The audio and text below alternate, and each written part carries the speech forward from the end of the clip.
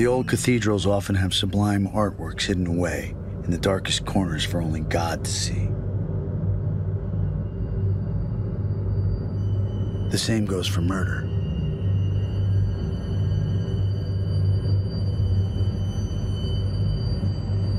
Oh.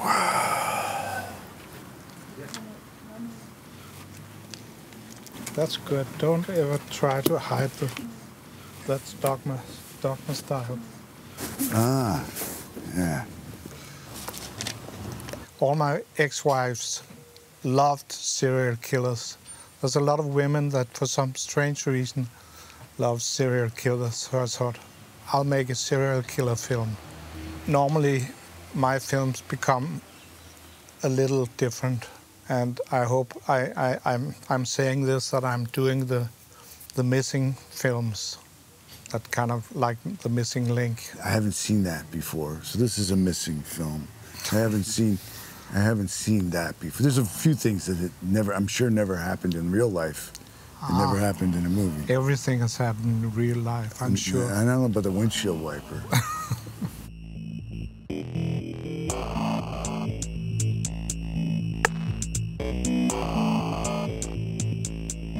on the set, what I liked was I felt as an actor that I had permission to fail, to try something different. There were things I was reluctant about in the script, but we, I had to trust. And, uh, and what was nice was to be able to say, hey, don't worry, you know, we're, let's try something different. Wrong can be right.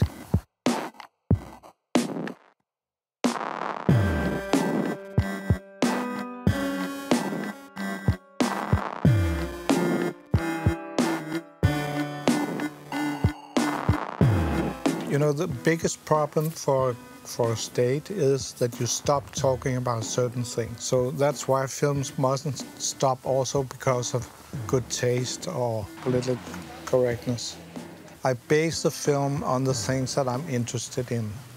And I was especially interested in serial killers, but I researched and uh, and then, of course, in all the characters, and especially in Jack, there's a lot of me.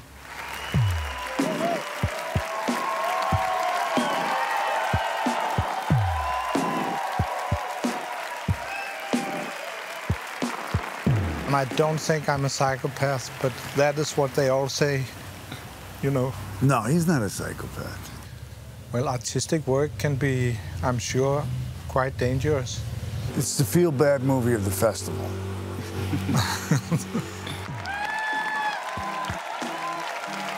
I was very touched, I must say, by the, the welcoming. It's all good.